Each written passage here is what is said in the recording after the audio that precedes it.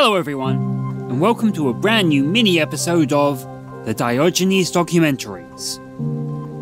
In this episode, we're going to be looking at how Sherlock Holmes was a master of disguise.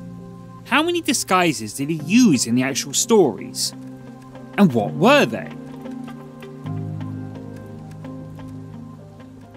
Sherlock Holmes and disguises go hand in hand. Rarely does a film or TV series go by without him utilizing some sort of visual deception to infiltrate an off limits room, extract information from a suspect, or simply to avoid enemy fire.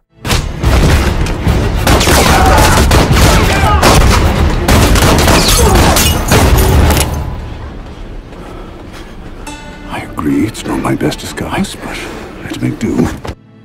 An exaggerated character trope, or an accurate depiction of the character according to Doyle? Well, we would argue the latter, for he actually uses an incredible 14 disguises across the 60 stories. Though admittedly, the 14 disguises are actually split across 10 stories, but it's still a fair amount.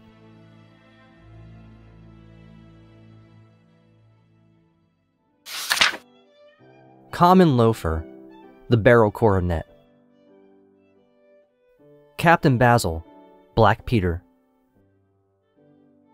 A plumber, Charles Augustus Milverton. Deformed bookseller, The Empty House.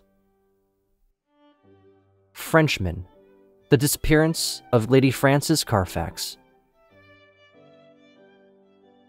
Irish Spy, His Last Bow.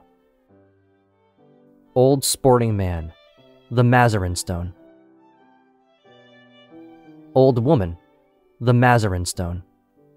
Drunken Groom, A Scandal in Bohemia. Clergyman, A Scandal in Bohemia.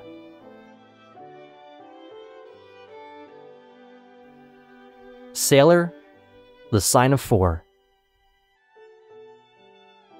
Old Mariner, The Sign of Four. And last but not least, an opium smoker in The Man with the Twisted Lip.